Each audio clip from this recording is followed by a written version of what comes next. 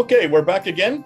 And uh, we're here with Odon Lafontaine. And as we said in the last episode, we're now going to move right into looking at the Quran itself and looking at different expressions in the Quran uh, that Odon is going to show. Uh, actually, when you look at these expressions, you need to apply them and put them in a historical context, and you will find that actually give us a totally other or new narrative that the standard Islamic narrative doesn't give us.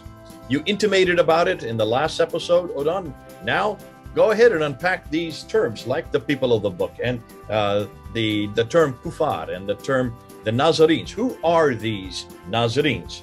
We're waiting to listen. Over to you. Thank you, thank you, Jay. Thank you for having me. Hello, everyone. Um, I'll share my screen.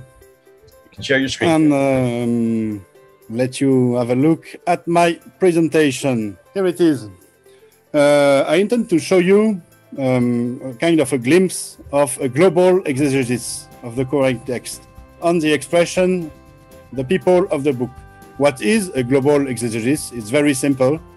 It is what Christian and Jewish scholars do on the on the sacred text. It is very basic.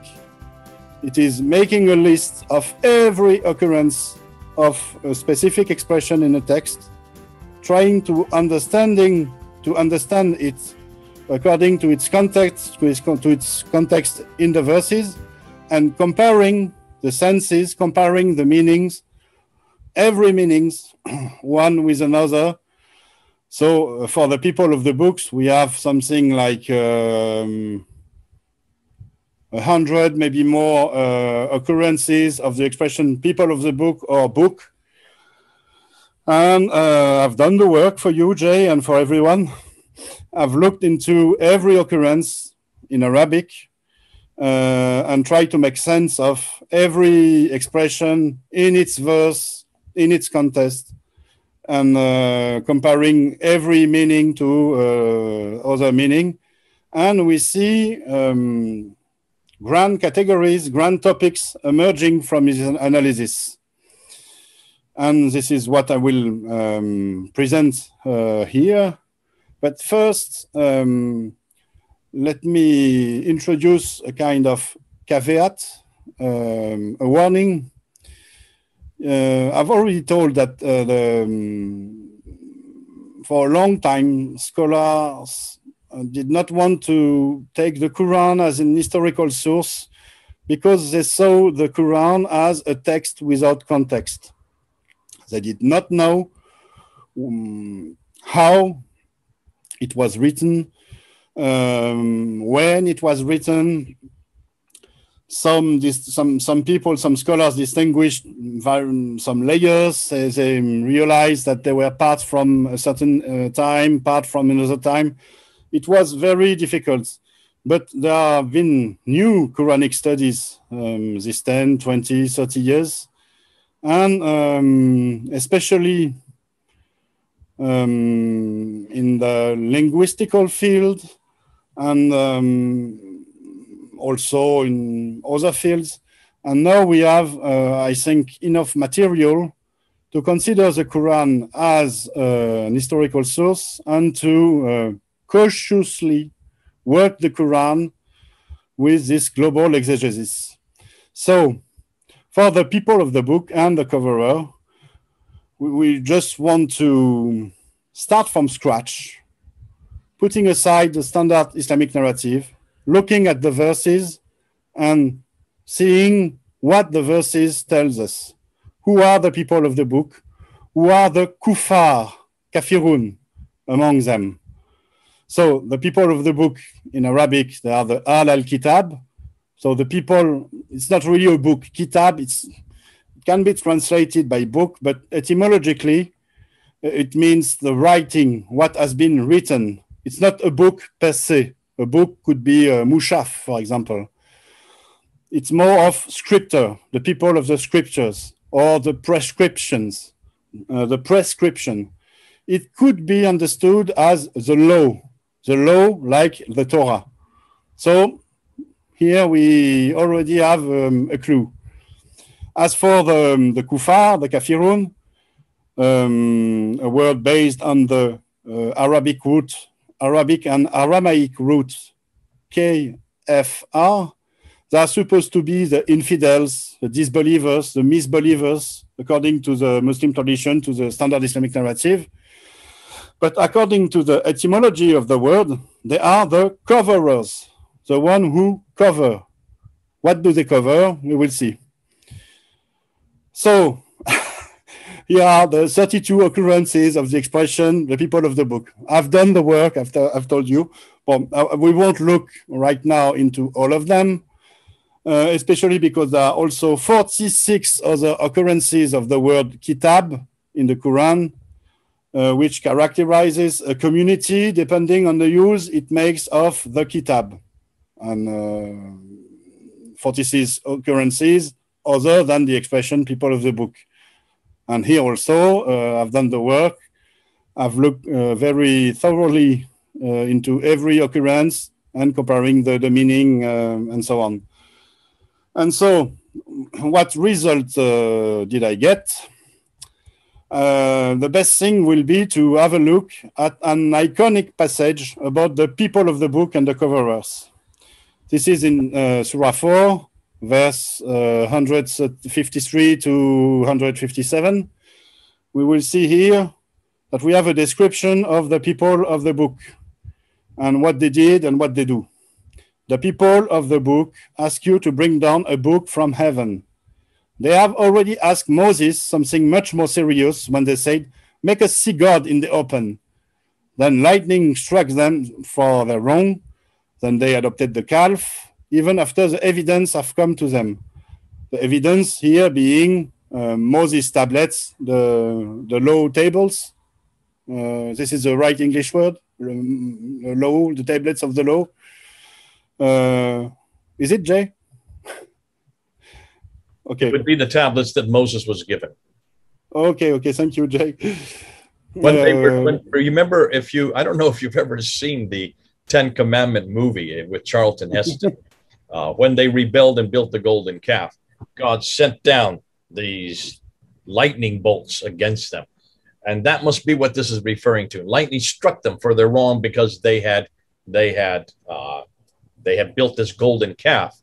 Because mm-hmm. having seen all the great things that God had done in Egypt, yet as soon as Moses left, they trembled and they were fearful and they wanted somebody to help them, and so they build a golden calf as as an alternative to God. And so God sends down his wrath against them.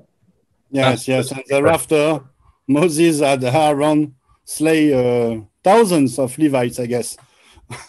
so yeah. at this time, things were very serious.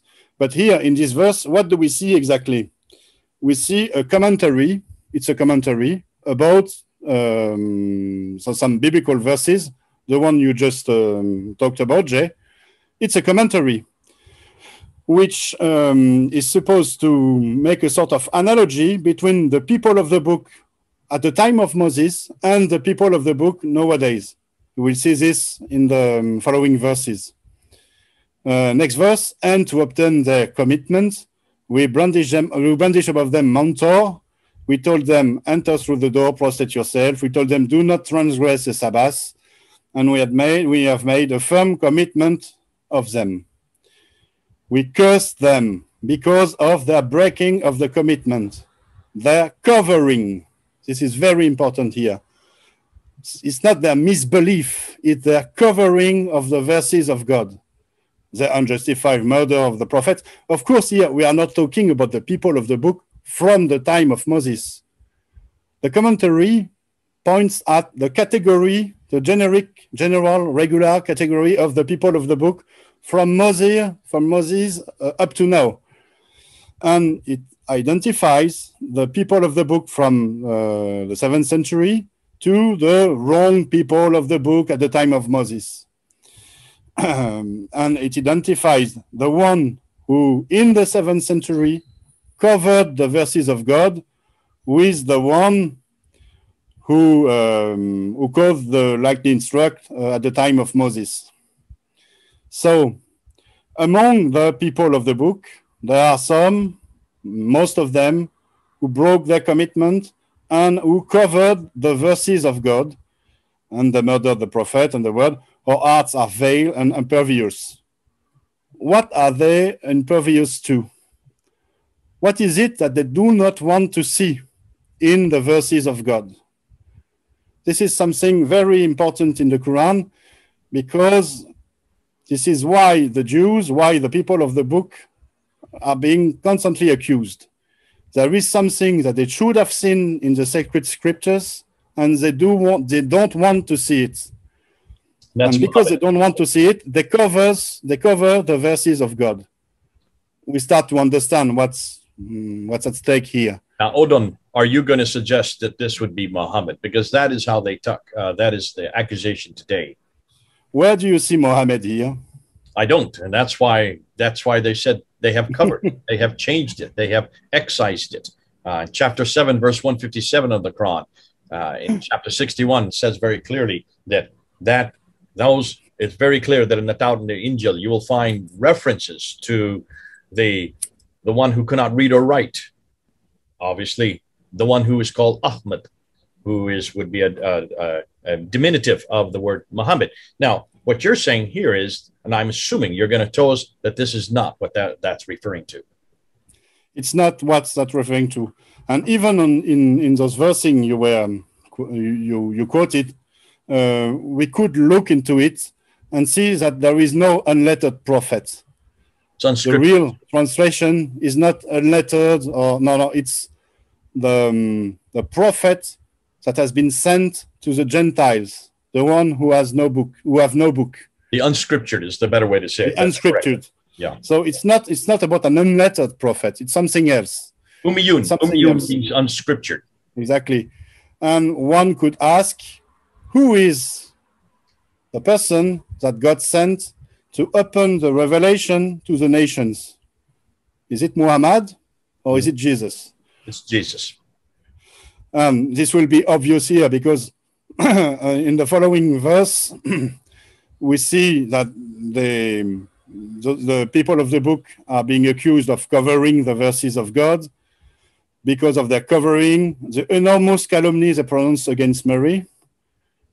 And we know what it is. We find it in the Talmud, in the Treaty of Sabas, Uh, Mary is accused of um, fornication and uh, Jesus is um, is so uh, being accused of is accused of being a, a bastard, the son of Pantera.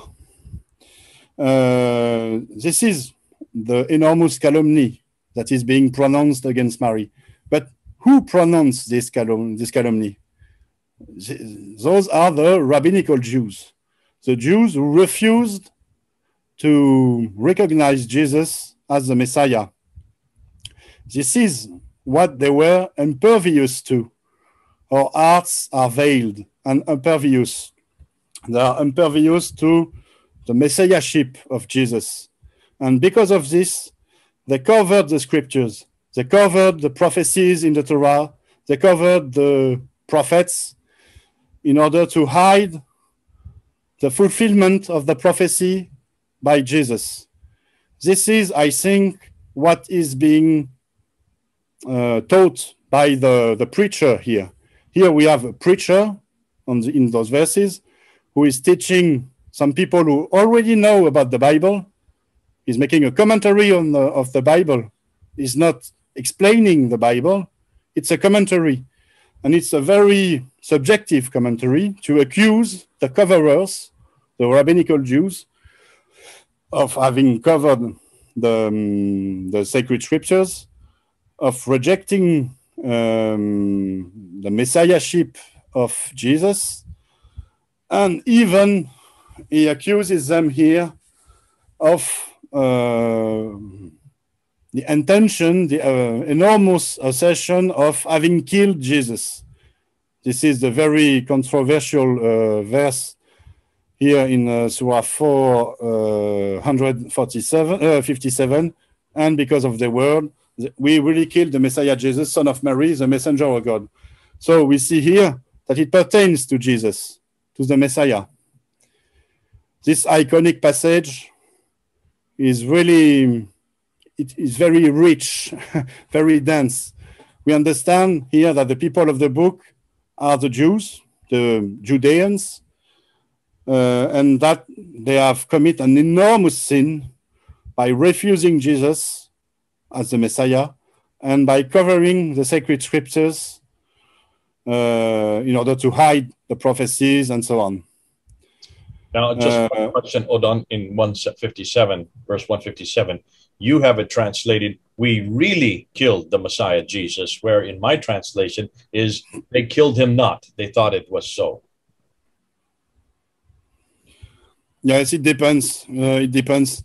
Um, and here I might I might be um, I might be wrong because I wonder whether I took this particular verse, from an uh, official translation or whether I translated it myself from um, Corpus Quran, uh, from the um, my own understanding. Verse. It's one of the most controversial verses, and I don't know of any Quran that translates it like that. I don't know of any translation that, that said we really killed Jesus. It says just the opposite. And because of their saying, we killed Messiah Isa, son of Maryam, Ah. the messenger of Allah, but they killed him not, nor Yes. crucified him. But it appeared so. No, no, the, the, the end the end of the verse is missing here, but we killed him not. But we really killed the Messiah. This is what is being said in the verse. And because of their word, we killed Messiah. Yes, we killed the Messiah Jesus. We really killed him. You're Well, just, the, the, um, okay. my, my great my great um, fault here is that the last part of the verse is missing. Okay. Will you forgive me for this? Never. Because the rest is correct. huh? the rest is correct. Go ahead. okay, so now we have understood that the people of the book are the people of the Jewish scriptures. They are the Jews. And the coverers are the Jews who covered the Torah and prophecies with their own interpretation. And um, they are the rabbinical or Talmudic Jews. Also, um, let's keep in mind that we are here maybe at the beginning of the seventh century, and it was the time of the um, publishing, and the diffusion of the uh, Babylonian Talmud. The Babylonian Talmud were uh, written in the sixth century, and for some Jews who recognized Jesus as the Messiah, um, seeing those uh, new scriptures um, might have been something of a shock. And um, it can explain, this is an, an element of context to understand why the preacher here is so vindicative, so why he accuses his, his fellow, um, um, he- why he accuses um, the Jews, the people of the book, so much. Okay. So, um, I'm forced to do a synthesis here. If I had time, we could uh, look at every occurrence. And um, I should point to your audience, Jay, that I have almost done it on Mel's channel, Sneakers Corner, in some very, very long presentations. Uh, a six hour presentation, something like this. Oh my. Um, this So we will be won't- also written. we won't do that here. We will tell people to go to Mel's Sneakers Exactly. Corner. Look down at the bottom, you will see the URL to Sneakers Corner. If you want to see the six-hour presentation where Odon goes through every one of the what 32 verses you're talking about, 32 plus 46. plus 46. Goodness sakes! So we're talking So I'm also working on 79. an article. I'm working on an article with Edouard-Marie Gallez on this topic exactly. And um, my English book will be available very soon. In this, you will find many, many explanation of the, um, this thing about the people of the book. So let's get back to our presentation.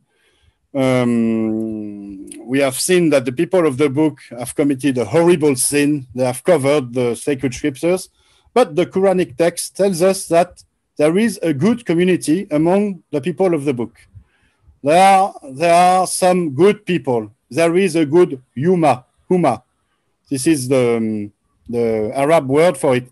Ummah is a very interesting word because it's not just about community. It's a, it's kind of like uh, of a tribe. Uh, it's the same word that is used for uh, Israel, the, the 12 Israel, uh, tribes. Um, it pertains to Um, the mothers, the mother. And so the, the community is um, kind of a bloodline. It's um, um, an ethnic community within the people of the book. This community is called the standing community. The community will stand up like Abraham stood up in his place. The Makam Ibrahim we talked about is a place where Abraham stood, stood before God, stood righteous before God. So this group is being described as acting righteously among the Jews. Um, I've put here some references Surah 3, verse 113, Surah 5, verse 66. There are only a very small number of them. They are a very tiny group among the people of the group. Uh, we see in Surah 5, verse 13, that they, they did not betray the, um, the Torah. They recognize Jesus as the Messiah uh, Surah 2, verse 101, Surah 4, 159. They are opposed to the rabbinical Jews and they are opposed to the Christians. Surah 2, 105. Um, this, this Jewish group, this good community among the people of the book, considers the Torah and the Gospel as sacred uh, scriptures, and it holds the unaltered text of the Torah and the Gospel. This is the issue of the uh, Mother Scripture. We have the Mother Scripture with us. This is what they are telling. We are the good community. We have the, the, the right, the good Torah with us, the unaltered text of the Torah, the uncovered text of the Torah, and it is called the Mother Scripture. Um, and also, it is a group who has the true faith, um, he, believe, he believes in God and in the day of the last, the last day, orders the proper, forbids the reprehensible, and is humble toward God's. We see this in his uh, another iconic uh, passage from the, the Quran in uh, Surah 3 from uh, verse 113 to 116 and also verse 199 uh, but they are not all the same. The day, the day pertains to the people of the book. The people of the book are not all the same. There is among the people of the book a standing community, a righteous community, a community that stands before God, that at the other hours of the night recites the verses of God by prostrating itself. They believe in God and the last day, order the proper, forbid the blamed, and contribute to good works. These are among the good people. And whatever good they do, they will not be denied. For God knows the stakes well. As for those who do not believe, those who covers in Arabic, it is a, a word from on, on the KFR root. As for the coverers, neither their property nor their children will ever be able to save to save them against God's punishment and these are the people of uh, the fire that will dwell there forever. And um, a few verses uh, after this, there are certainly among the people of the book those who believe in God and in what has been brought down to you, and in those who have been brought down to them. They are humble to God and do not sell God's verses at low price. So here we see that, uh, a contrario, that the coverers, uh, those who do not believe, they sell God's verses at low price. This is which is another accusation, which is um, uh, proffered uh, toward them. So we have this good community among the people of the book. Um, what else does the Quran tells us about this good community? the Quran tells us that there was an alliance between, between these communities, this good community among the people of the book, and the believers. This is in the Quran. We see in the Quran that the believers are urged into sharing women with the good people of the book and also sharing food, sharing table, which is the basis of society. A society is made by um, mixed um, marriages, um, matrimonial alliances, and sharing food. In verse five, uh, five of the fifth surah, you are allowed the food of the people of the book, and your own food is allowed to them. You are allowed the virtuous woman of the believers and the virtuous woman of the people who received the book before you. So here we have this allusion to the good people of the book. Of course, with the accusation we saw against the coverers, against the bad people of the book, this verse can only point at the good people of the book. And here we see also that the people of the book cannot be Christians because in uh, Surah 24, verse 3, we see that the believers cannot marry a Christian woman. The fornicator will marry only a fornicator or an associationist, an associator, which is a Christian. And the fornicator will be married only by a fornicator or associationist, a Christian. And this was forbidden to believers, which means this um, sharing of women is only between the good community among the people of the book and the believers. So here is an essential part of the alliance between the people of the book and the believers. And remember, we talked about Muhammad having a Nazarene wife. This is exactly what this is about a matrimonial alliance between a Nazarene community, so they could be the good community among the, they might be the, the good community uh, among the people of the book and the believers. But we saw also that Muhammad might have been uh, described as a Jewish prophet in the Doctrina Jacobi, so maybe he was half Jewish himself. So, um, yeah. Let me, uh, let me ask you a question. Who are the believers in these verses, according to what would you say are the believers here? The Muminun are who? And Muminun the, the believers are the one who listen to the, the preaching and who believes in it. So it's that simple. And from the, the reading of the Quran, we gather that they are Christians. They know about the Bible. When the preacher makes allusions, alludes to the Bible, make commentary uh, about the Bible, they understand it. We have also verses in which um, we, we understand that they are very um, proficient with um, highly elaborated theological concepts such as Messiah, Spirit of God, the end of times. Um, and so they are, um, they are learned. So you're they, saying they are Christianized. They are Christianized. Then who are the associators? the associators are the Christian. They are the one who associate. Um, they, they are the one who associate um, a divinity with the one God. The, the, this accusation of associationism is not new.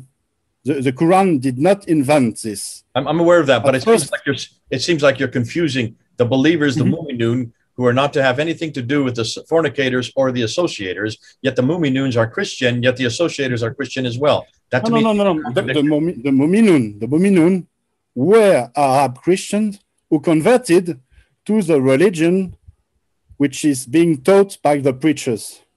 So they are they, they have a, a Christian background. They were Arab Christians.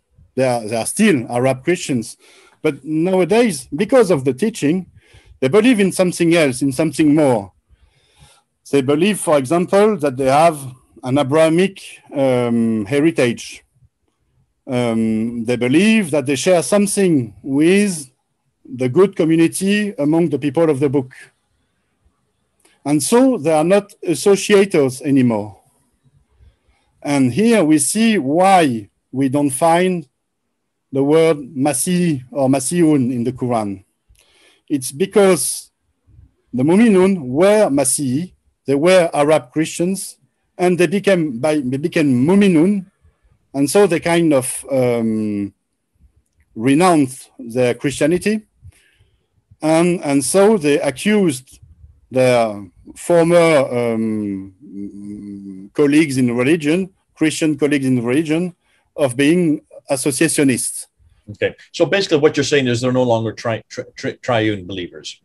They don't believe in the Trinity. They don't believe in Jesus' divinity. Exactly. Okay. Exactly. This is the point.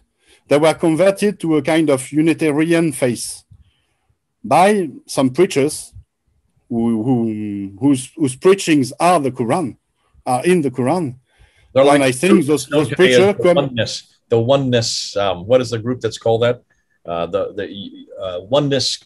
Uh, I can't remember what the name is. Oneness.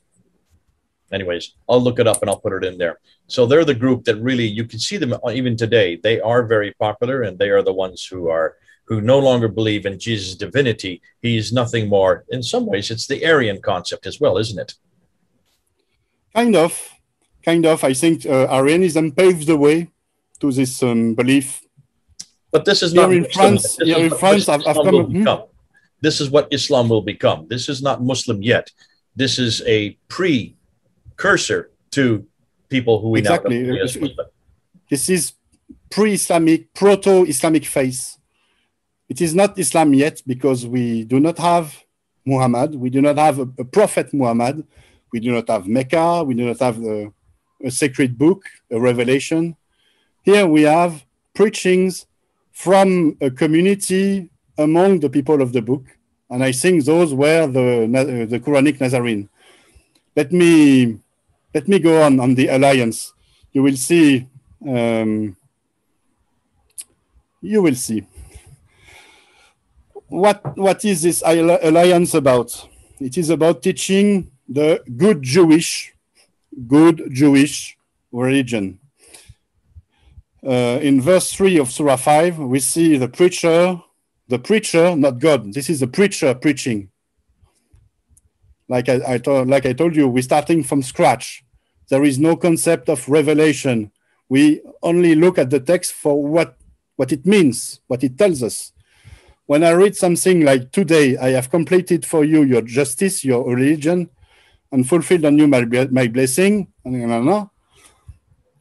uh, I see an instructor, a teacher, telling his audience that his teaching is achieved.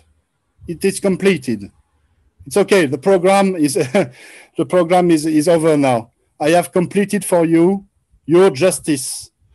So it's the word, the Arabic word din. Din is um, often translated by the word religion, but um, it's not a very good translation. Din is the same root as the Aramaic and Hebraic Dan, like in Daniel. Dan is uh, the, the justice, the justice uh, in the biblical uh, meaning of the word. It's um, the set of religious rule which you must abide by in order to be a just, a righteous person. When you adjust, for example, the just among the nations, it is because you have abided by God's justice, the deen. So here we have a preacher telling his audience, okay, the teaching is over. I have, I have taught you everything you have to learn. And what did they have? They had to learn.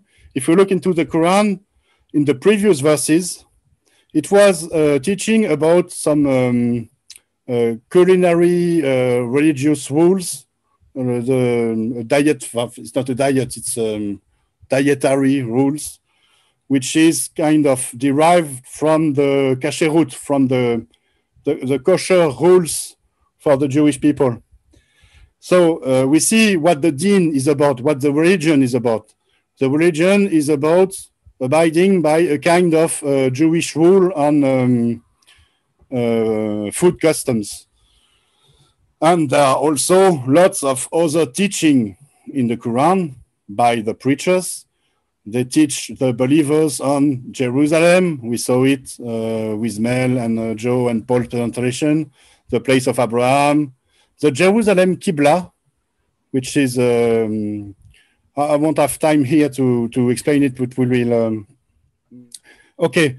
And um, another part of this alliance is being um, described in um, metaphorical way, a sort of analogy. Um, we see the description of an alliance, a divine alliance, a divine covenant between Abraham, Ishmael, and God himself to rebuild Jerusalem's temple. This is in Surah 2, verse uh, 125. Uh, we confided to Abraham and Ishmael, confided, there is the Arabic root for covenant we confided to Abraham and Ishmael this purify my house for those who turn around, make a pious retreat there, bow to it, and prostrate the, themselves there. But we already saw, we already know that the house is Jerusalem temple. We also know that Abraham never built a temple in Jerusalem. He built an altar for the sacrifice of Isaac. So here it's not about history. It's not about, about the Bible.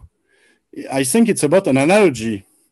The figure, the seventh century figure of Abraham and the seventh century figure of Ishmael, so the good community among the people of the book and the believers, they have to purify God's house for those who turn around, make a pious retreat, bow to it, and prostrate themselves. The divine covenant here, which is presented by the, the preacher, is about having this good community among the people of the book and uh, Ishmael engaging in, in a divine alliance, a, a, grand divine project to go to Jerusalem and rebuild the temple. And it's even clearer thereafter if you really um, look at the Arabic text for what it is and not for what the standard Islamic narrative says it is and not for uh, what the translation say it is. In um, verse 127, 127 of Surah 2, we have literally this. Then Abraham will raise the house from its foundation with the help of Ishmael. This is the, um, the goal of this divine covenant. You see the Arabic word which is used, raise, its conjugation is not at the past tense. You see, in Arabic, there is, there is no um, specific conjugation for past or present or future tense.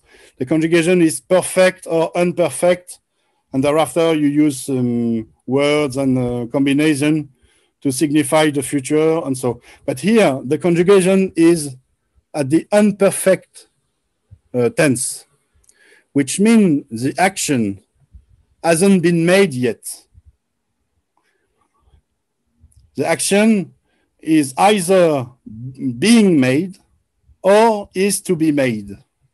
And so the right translation here according to the context, according to what we saw two verses before, is a conjugation in a future tense. Abraham as being the image, the analogy for the good uh, community among the people of the book, will raise the temple of Jerusalem from its foundation with the help of Ishmael. Ishmael being the figure, the analogy for the believers, the Muminun. And we will see that it is Abraham, the good community among the people of the book, uh, who has to do the work. Uh, is the one wearing the pants in the alliance. Um, so this is what the alliance is about. So there are many other descriptions in the Quran about this alliance, but here I'm trying to to get to the, um, the core of it. And now um, I will present you my hypothesis. My hypothesis it is that this good community among the people of the book, which uh, we have defined, which the Quranic text define, is in fact the Quranic Nazarenes. Uh, we see this because, at first, the Quranic Nazarenes are not Christians. They are not associationists. Every time we see a description of the Quranic Nazarenes and the associationists, there are two different categories. They are never one and the same. For example, uh, in, the, in the verse uh, in Surah 3, uh, 65, 67, it's about Abraham being neither a Jew nor a Nazarene. And thereafter, he was not also an associator. There we have three categories. He was neither a Jew, nor Nazarene, nor an associator. We have three distinct categories. If the Quranic Nazarene would have been Christians, associationists, the, the verse should have been Abraham was neither a Jew nor an associationist, or Abraham was neither a Jew nor a Nazarene. If you have to add associationist, it's because there are three different categories. And we see this in many uh, verses uh, in the text. We see that the Quranic Nazarene are, they belong to the people of the book, so they are Jews themselves, and they are not associationists, and they are different from the other Jews we see, for example, many verses of um, condemnation of the Nazarenes, and this is the same condemnation this is um, as the one uh, of the Jews, the Jews and the Nazarenes, the Jews and the Nazarenes, which mean Jews and Nazarene have something in common. We see uh, in other verses that they, they also share the same, the same sacred scriptures, the same book. And so here, here is the verse about the um, Nazarene being the closest to the believers. And very interesting verse, Surah 5, um, 82. Um, we talked about it in, during the introductions and the, the last presentation, the previous presentation. You will certainly find that the fiercest enemies of the believers are the Jews and the Christians, those who associate and you will certainly find that the closest to the believers are those who say, We are Nazarenes. In most translations, most translations, the, the um, translator choose to translate Nasara by Christian, which is an, an enormous contradiction because the fiercest of the enemies are supposed to be the associationists, mm, so the Christian, and the closest to the believer are then to be those who say we are Christian. This is a contradiction. And some um, honest uh, Muslim translators, such as Muhammad Hamidullah, who was a, a French-speaking uh, Muslim scholar, in his translation, he could not, because he wanted to be very true to the, his sacred text, he could not translate there Nazarene by Christian because he understood that there was a contradiction. And so here we see, for example, that there are true, uh, three distinct categories. The Jew who covers, of course, the, the, the, bad people among the, the people of the book, those who associate, the Christian, and another category, the Nazarenes. so during a time, they were the closest to the believers, and at another time, they became enemies to the believers. So it's in uh, Surah 5, uh, verse 51. All believers, do not take the Jews and the Nazarene as allies. They are allies of one another. so they became enemies to the believers. But here we have something very, very strange. Like I told you in the previous presentation, Jews and Christians, they were supposed to, they were arch enemies during the seventh century. So here we see that Nazarenes cannot um, mean Christian. So uh, here, the standard Islamic narrative is very wrong in pretending that the Nazarenes um, are, are Christians. But one thing is also very strange. If you look at verse uh, 89 in Surah 4, you will see here that the people, the believer, are not supposed to take the Jews for allies because the Jews are allies of one another. And so here it might it might be that the expression and the Nazarene is an interpolation, something that was added to the original text, the original uh, preaching, because the Quranic Nazarene became enemies to the believers. And so they, they had to be condemned. And in the text, something was added in order to condemn them as, um, as being Jews. Because in the end, the Quranic Nazarenes belong to the people of the book, so they are Jews. And why is it that they, they had to be condemned? Why? It's because the Quranic Nazarene broke the alliance. We see this in verse 14, Surah 5. And those who say, We are Nazarenes, we have made their commitment, we took their, their vow. Here it is the Arabic root for covenant, but they have forgotten some of what was reminded of, uh, of them. So you arose enmity and hatred among them until the day of the resurrection and so on. Here we see that the Quranic Nazarene, some, they are accused of having broken their commitments, forgotten something, something went wrong, and the alliance with the believers is broken, which could explain why the Quranic Nazarene have become enemies to the believers.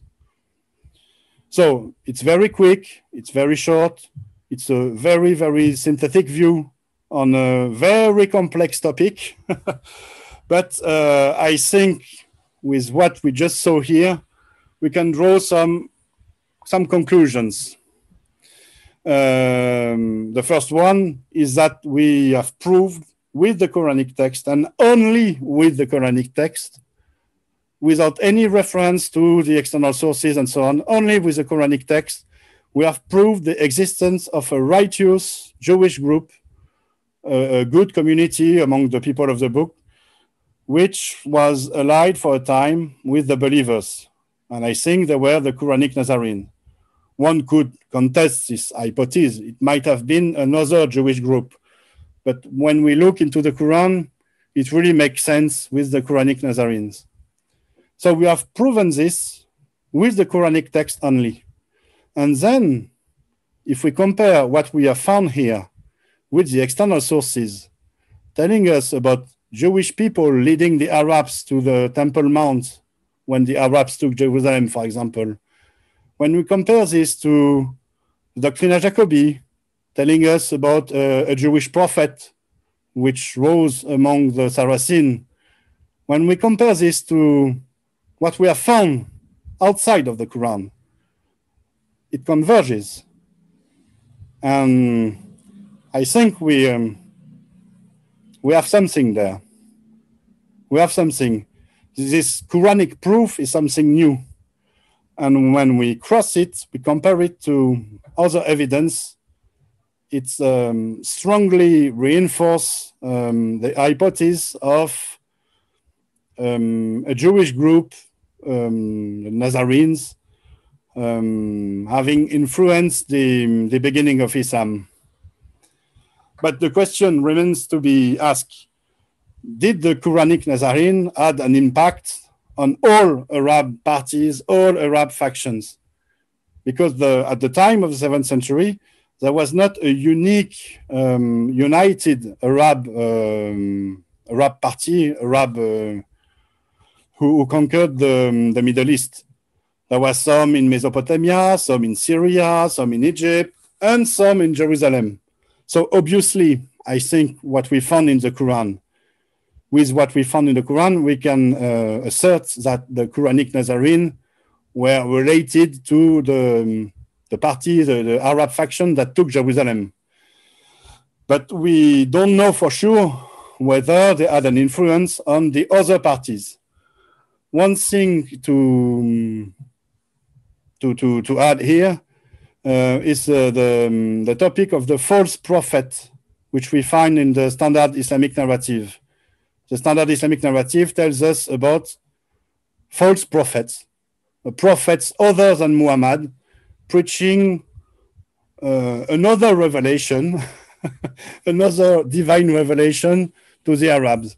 There were uh, four main figures uh, of those false prophets and uh, some of them could be related to the Nazarenes because of their name.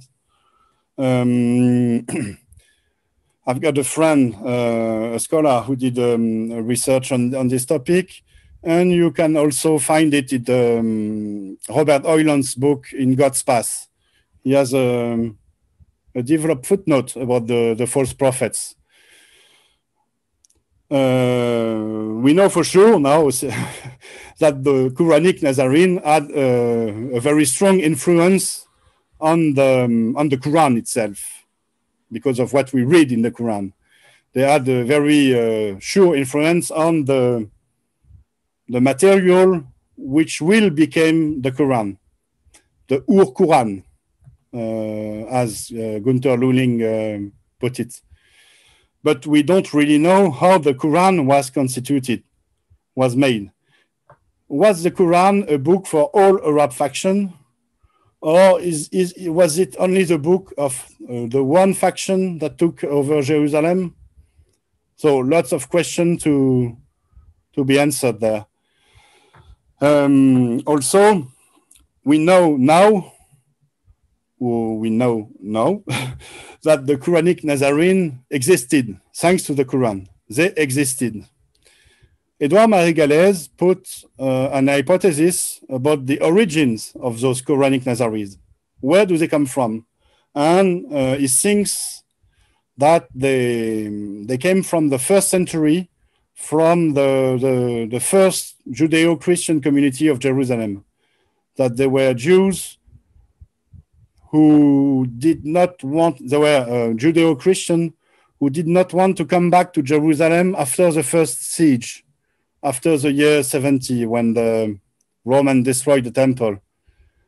Um, the Judeo-Christian at this time, they fled Jerusalem before the siege and they took refuge uh, in Jordan and in Syria also. And they came back to Jerusalem after the siege, after the destruction of the temple. And the um, chronicler, the, the author of this time, tells us that some of them did not want to come back to Jerusalem and that they kept uh, on the, um, they, they, they remained in Jordan, they remained in southern Syria, and they might have constitute, constituted the beginning of the of a Nazarene movement, which we will find um, the aftermath in the Quranic text. Also, we have here a groundbreaking discoveries about the origins of Islam. It makes us understand um, the apocalyptical expectations of the believers, of the proto-Muslims, the pre-Muslims, why they why they wanted to take Jerusalem, what they did there, and then we can um, we can form the hypothesis of the role of the Messiah. They wanted to take Jerusalem, to rebuild the temple, to trigger the apocalypse, to, to have judgment day. And um, we see, um, especially in the Hadith, that the Messiah is supposed to have um, a very strong part in the apocalypse, in the Muslim apocalypse. So maybe, maybe building the temple was the way, was the solution, the, um, the recipe for the um, for having Jesus come back. And so we understand that Islam did not emerge from the preaching of a prophet in Mecca and so on, but that it emerged from um, a long process there were there has been at first the teachings, the preaching of the Quranic Nazarene to the believers. There has been the um, Jerusalem event. They took Jerusalem, they rebuilt the temple, and they, they were waiting for the Messiah to come back, and he did not come back. And so the apocalypse failed. There was a sort of failed apocalypse. And this is why, I think this is the reason why the Arab leaders um, struggled then among themselves. This is the reason of the fitna, of the civil war between the Arab leaders. the apocalypse failed. Jesus did not come back. He did not establish God's kingdom on earth. And so the Arab leaders fought among themselves um, because they all, are, they all had different opinions, different, um, different um, methods uh, to establish God's kingdom. Some of them wanted to wait for Jesus to come back even after the failure. Some of them pretended to be the Messiah himself, such as uh, Ali, for example. Uh, others uh, pretended to establish God's kingdom by themselves. And the struggles, the turmoil between the Arab leaders uh, led to the um, emergence of the, the strongest, Abdul Malik, at the end of the seventh century, who created a new entity, the Caliphate, and who pretended to be himself God's Caliph. We see this on his coins. We should make a video on coins, Jay. we see that uh, Abdul Malik is the first of the Arab leader to mint Caliph on his coin, and especially God's Caliph, God's lieutenant, which means Abdul Malik kind of pretended that uh, he, he had established God's kingdom on earth, the caliphate. And thereafter, there was the Abbasid revolution. They, they took over the Umayyads. They took over the they took over God's kingdom, and they pretended also to be God's caliph, but they could not legitimate the power um, on Abdul Malik's uh, pretension.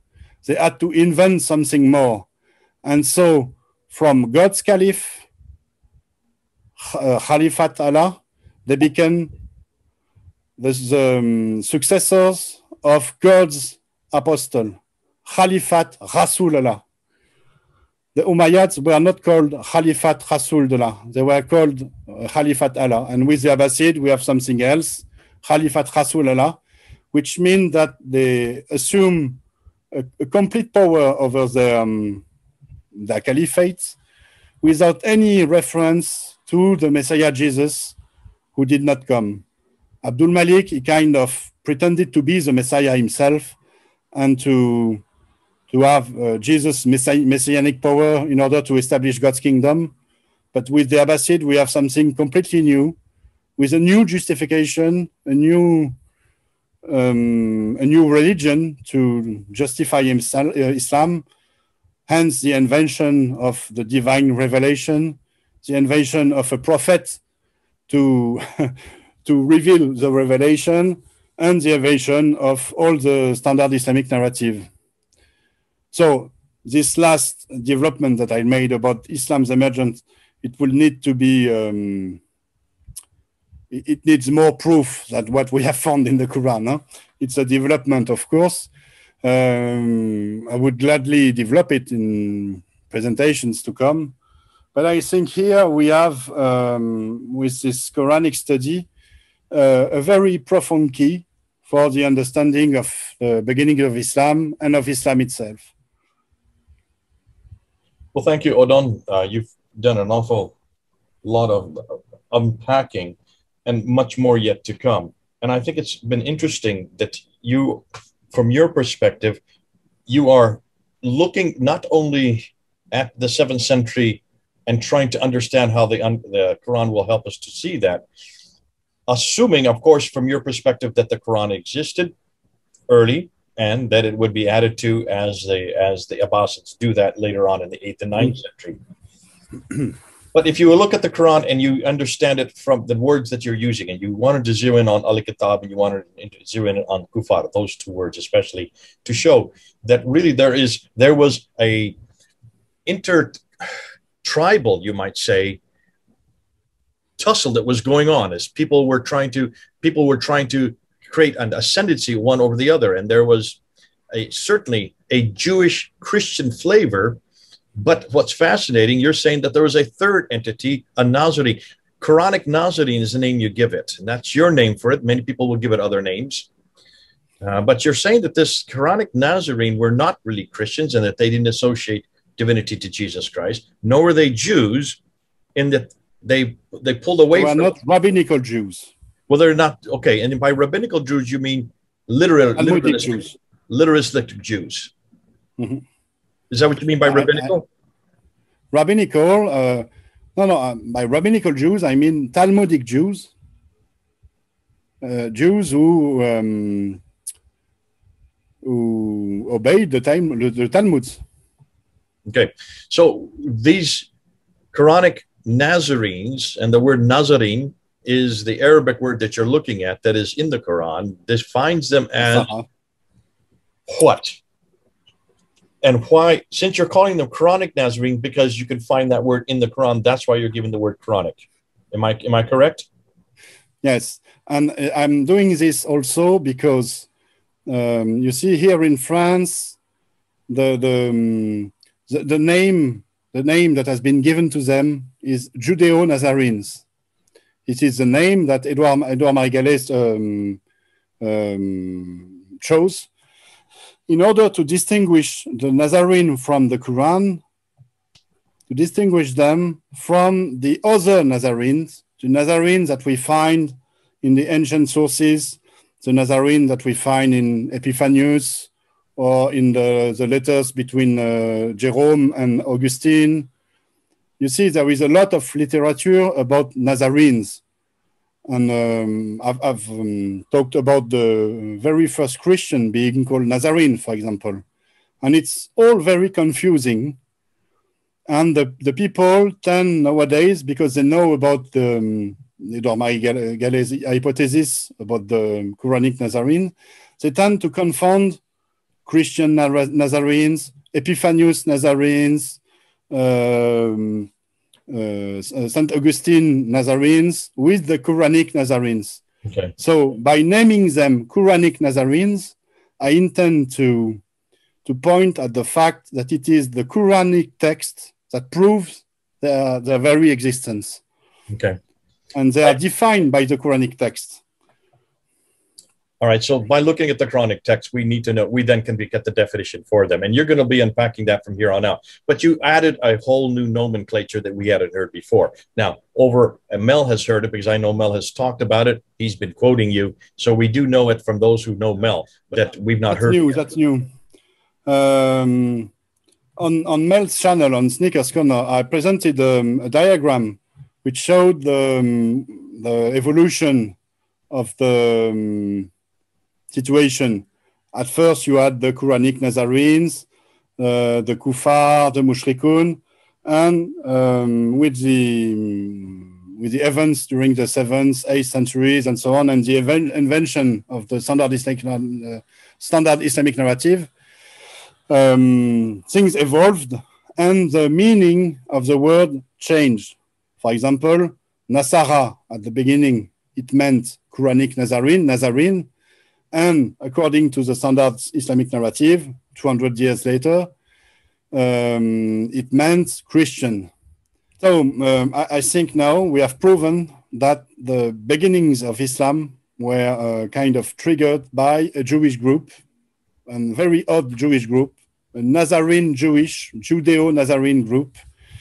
And uh, the Quranic text tells us that uh, this group made an alliance with some Arab, some Christian Arabs, uh, an, alliance in order to take Jerusalem and uh, rebuild the temple and trigger the apocalypse.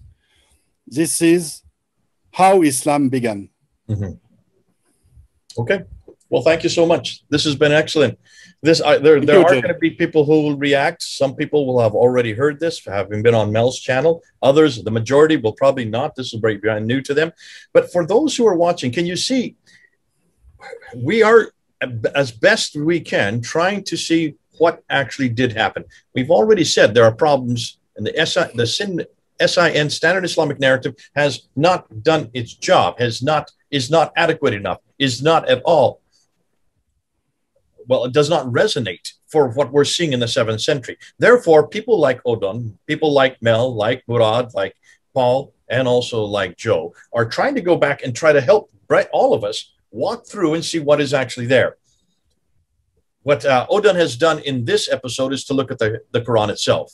and up opening uh, references in chapter five, uh, references in chapter four, uh, references that he's had in other areas, such as chapter three and also in chapter two, looking and trying to unpack it by looking at the words that exist, trying to find who are these people that we're talking about, because it is people that actually created Islam. It is people who had a vision of in this case, it looks like they were waiting for the Messiah to return, and he did not return. And so, what happened then, of course, as they fractured and went into different other groups, that is what we will be doing next. And what I would like, Odon, what I would like you to do is come back and we'll do the coins next. Because I think the coins actually are artifacts that don't disintegrate, they don't deteriorate. There, you can hold them in your hand, you can show them up. We can show the images and just follow the sequence. You've done it a little bit with the with the Quran here, but it, it's kind of fluid because we don't know when the Quran was written. We don't know exactly what period it's referring to. But coins don't have that problem. Coins mm-hmm. aren't fluid, they don't change, they stay when they're minted, they're as good today as the day they were minted. And because we can then look at them, we can also d- d- look and follow the sequence. So this has been terrific to get it from a Quranic perspective, from get it your perspective. I think it'll be even better when we do it with a coin perspective. So next time we meet again, hold on, we're going to look at the coins and we're going to unpack them. I understand you even have some of them, and you've asked me to go buy some of them. So maybe by the time we talk, I'll have done just that. God bless you. It's been great having you here with us. Thank Those you, of you who want to respond, you can. There's the comment box right at the bottom. Do comment. Odon has promised that he will look at your comments and he will try to respond. If we get good questions, we will then do another session trying to answer those questions. So Odon and I will probably come back again to, to come back, and we will make sure uh, that we do name who you are, so that you get credit for what you are saying. Mm-hmm. Terrific. Thanks a lot for coming on board. Thanks a lot for unpacking it. Thanks a lot for staying with us. And for the rest of you, let's hear your comments. This is Jay and Odon. We're 3,000 miles apart, five hours difference. He's ready to go to bed. Uh, that, it's about one o'clock in the morning for him. But it's been